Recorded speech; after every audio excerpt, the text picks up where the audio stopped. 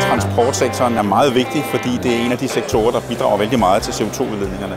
Så derfor er det spændende at komme på sådan en messe her og se, hvad er de nye ting, der kommer, de nye lastbiler og de ting, man diskuterer.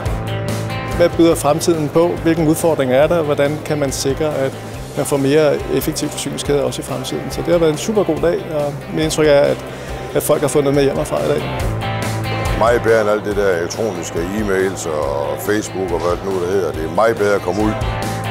Man får jo øh, i virkeligheden en platform, hvor man både kan tale med gode gamle venner og kolleger i branchen, men jo samtidig også vise omverdenen, hvad det er, man står for. Det er mest synd for transportsektoren øh, i Danmark. Det er alle haldernes summer af liv, så det er jo en kæmpe fornøjelse at, at kunne se, at øh, branchen i den grad tager messen til sig. Vi ser jo, at der er kæmpe stor interesse for de her alternative brændstoffer og, øh, og den bæredygtige transport i det hele taget. Så det her er jo en rigtig god platform. Transportmessen er, er det største og, og det øh, bedste mødested også til indendørsmesser øh, i Danmark. Vi kan møde folk på mange måder.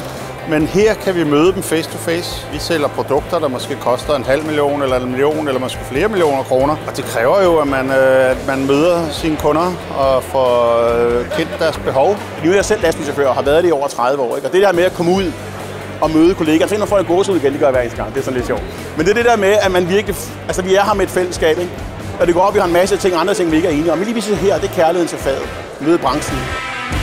Over de her tre dage, der hilser vi jo på rigtig, rigtig mange af vores medlemmer, som kommer forbi. Både ejere og også øh, deres medarbejdere kommer herop, og det er jo, det er jo bare tre super dejlige dage for os.